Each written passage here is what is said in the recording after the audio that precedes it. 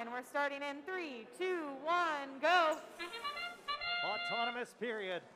Robots taxiing. Team number 254 starting out their autonomous sequence by launching an opponent ball into their own hangar, making it just a little bit more difficult for the Red Alliance in this match. Following up, Red Alliance will secure the quintet. Blue Alliance will as well. Teleoperated control. Team number 254 coming into the match with an impressive 148 qualification average score. And they're going to try and add on to it here. 30 to 34, the red advantage. 498 going toe to toe with the Roboteers on the red side of the field despite the defense. The team from Tremont launches one high and connects.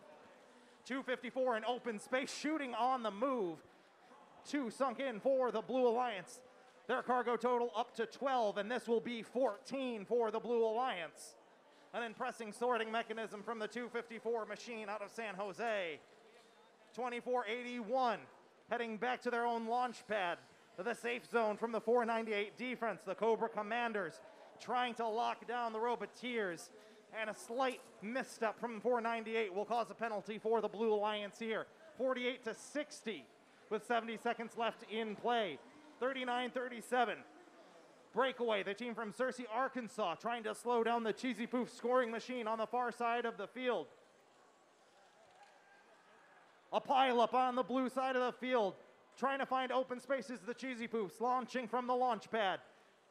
And 18 pieces of cargo as Blue Alliance locks down the ranking point here with 45 seconds left.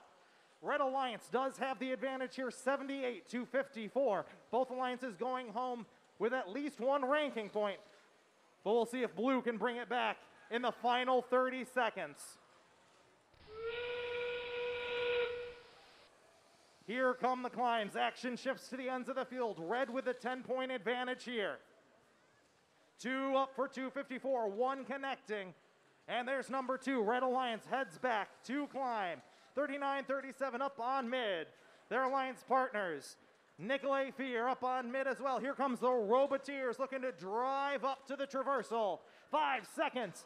It's three, two, one. Triple traversal for the Red Alliance. As time expires, takes it with a score of 127 to 95. Despite the loss, Blue will take the two ranking points here on the field, but Red sweeping all four and moving all three teams up in the rankings. Notably, team number 39-37, who moves up into